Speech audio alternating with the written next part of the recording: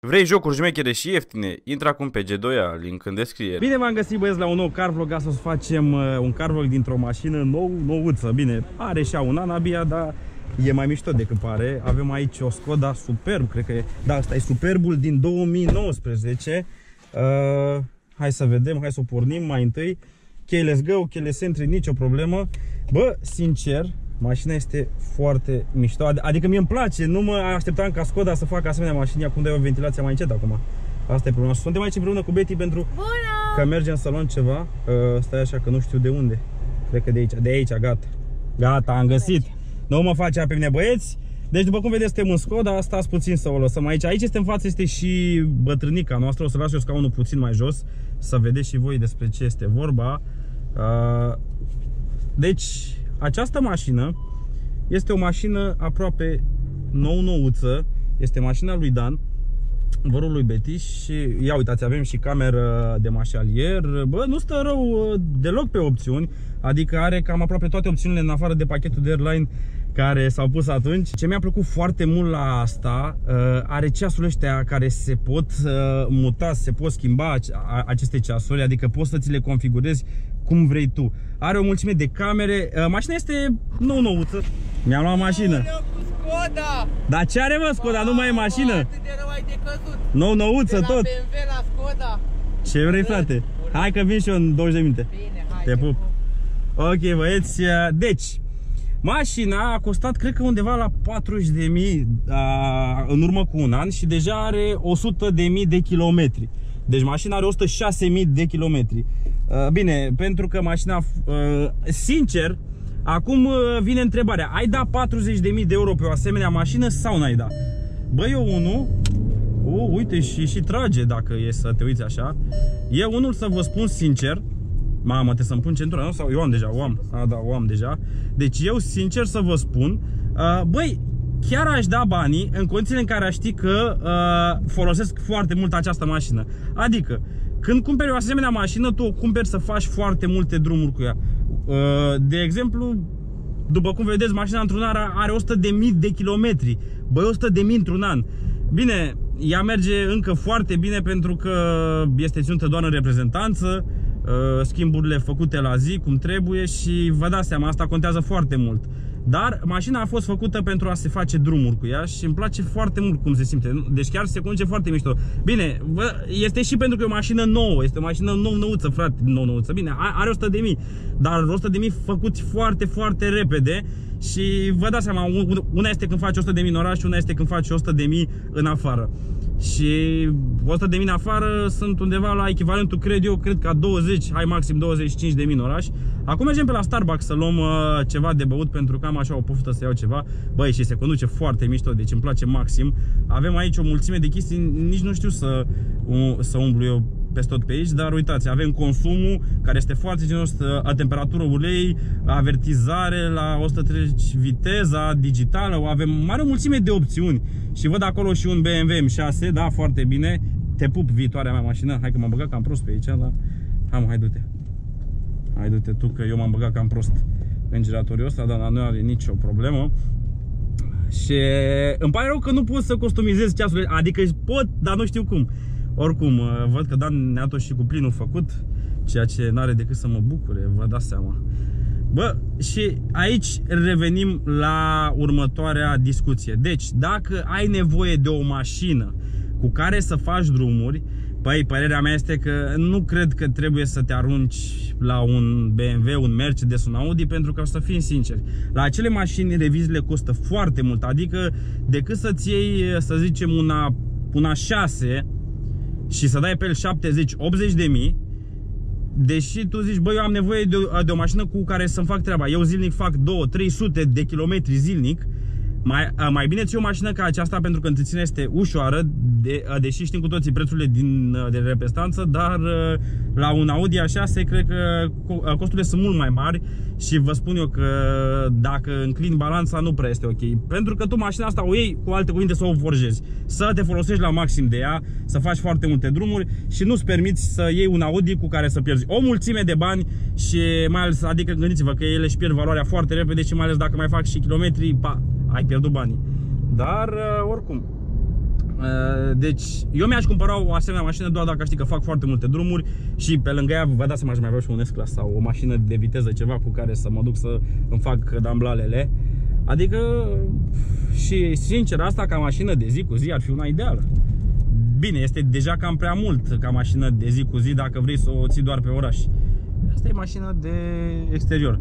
Un consum foarte bun, adică gândiți-vă că un consum cred că de 7, maxim 8 pe oraș, maxim, este 4x4, cred că are și aproape 200 de căluți și bă, arată foarte bine.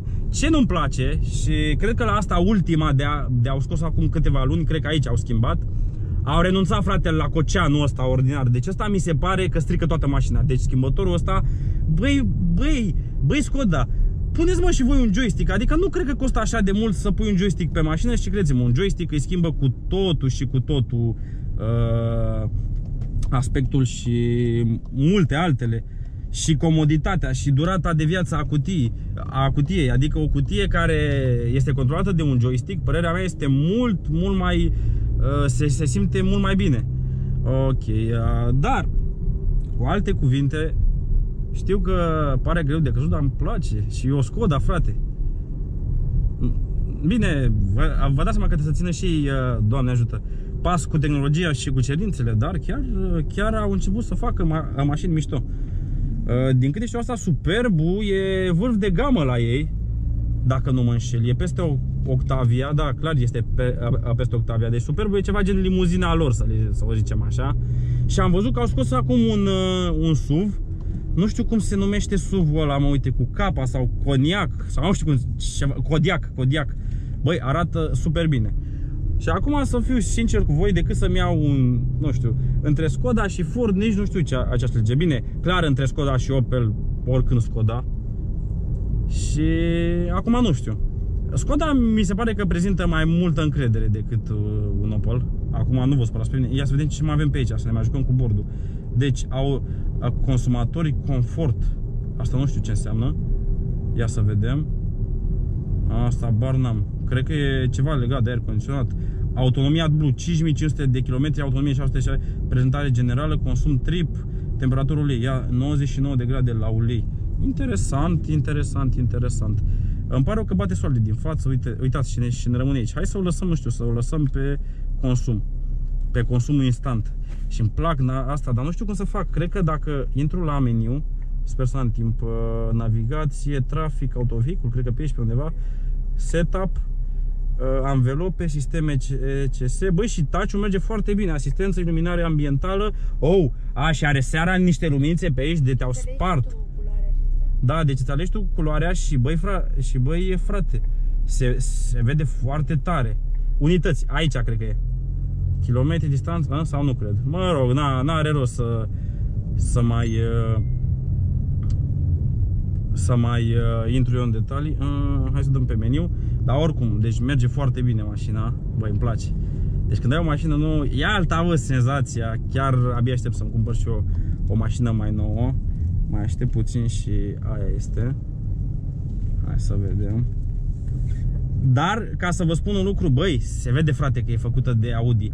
Are toate chestiile astea de Audi sunt puse pe ea. Deci are o mulțime de, de chestii de Audi. Uitați, aici se vede foarte bine cum se conduce și tot. Aici avem umbră. Hai, că o bag pe aici. Bă, da, aici parcare cu plată? Nu, cred.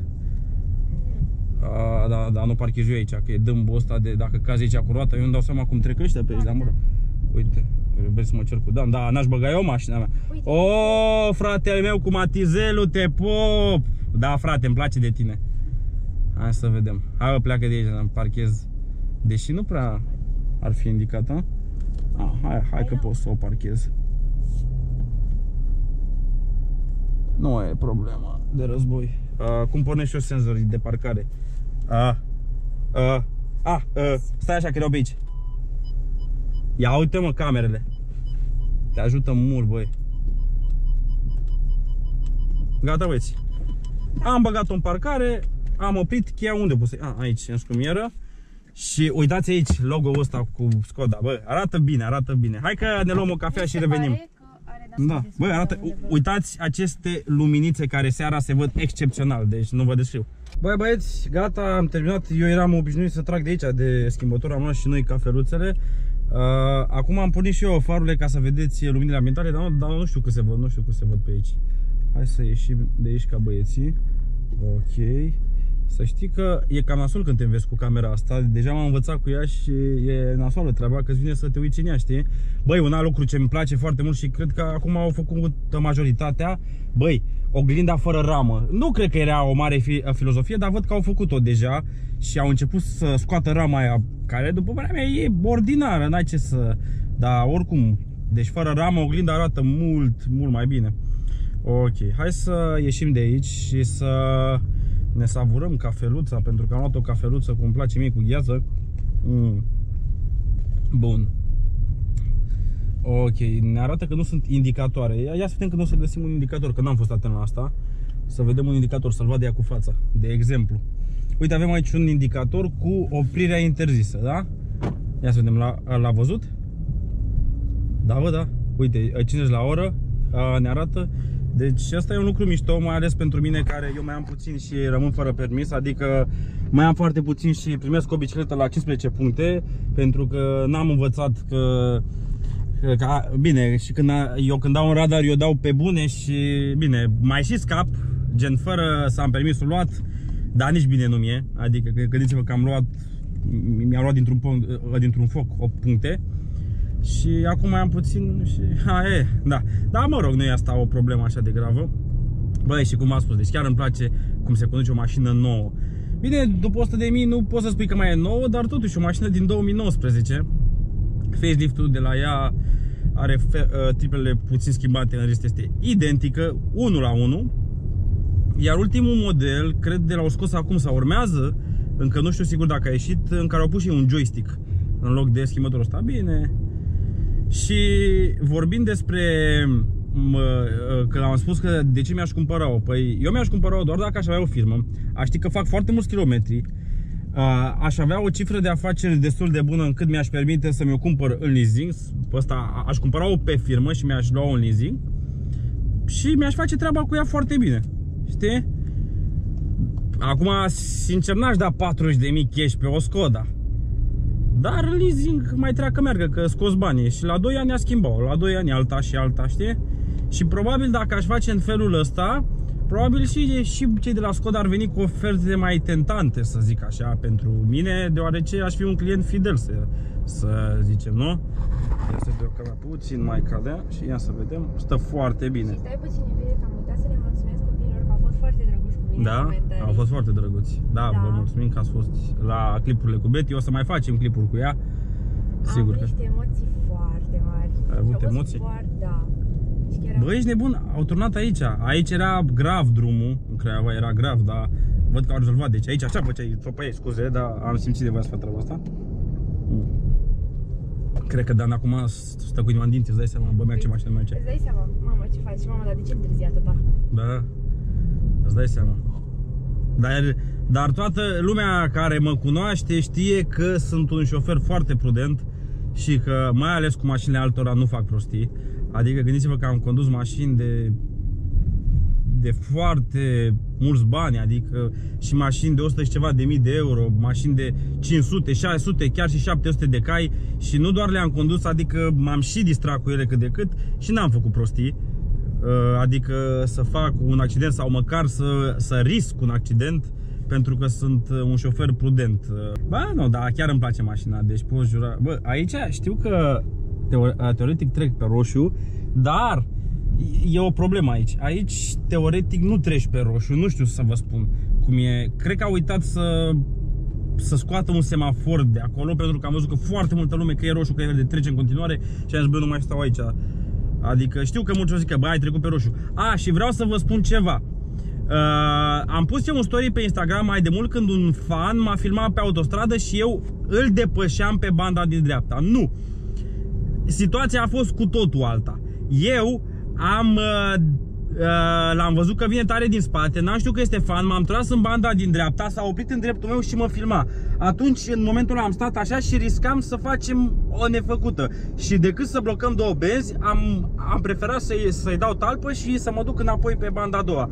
Mulți m-au înjurat și mi-au spus că, vezi domne, că eu așa am învățat la școala de șofer, că depășesc pe banda a doua, ăsta pe banda întâi. Nu! Eu am depășit pe banda întâi, dar n-a fost depășire. Am accelerat mai mult decât cel de pe banda a doua, pentru că eu eram uh, pe banda întâi. Deci n-am depășit pe banda întâi, nu sunt atât de inconștient. Credeți-mă. Așa că, da. Da, mă rog, nu este asta o problemă, am vrut doar să clarific. Băieți, cam atât cu acest video. Sper că v-a plăcut uh, car vlogul din această Skoda Superb din 2019. Uh, dacă mai vreți car vloguri cu diferite mașini, nu uitați să apăsați butonul de like pentru că urmează un super vlog pe care îl plănuiesc de ceva timp, așa că stați geană pe canal cu o super mașină. Nu vă spun mai multe decât că este un supercar. A, Fix în această intersecție am făcut eu accidentul, doar că veneam din principală. Uh, apăsați butonul de like pentru mai multe car vloguri dacă ați rămas până aici. Știți ce aveți de făcut și un share m-ar ajuta extraordinar de mult. Clonțopelul de asemenea ajută și el foarte mult. Iar noi desigur ne vedem data viitoare. Pa, pa!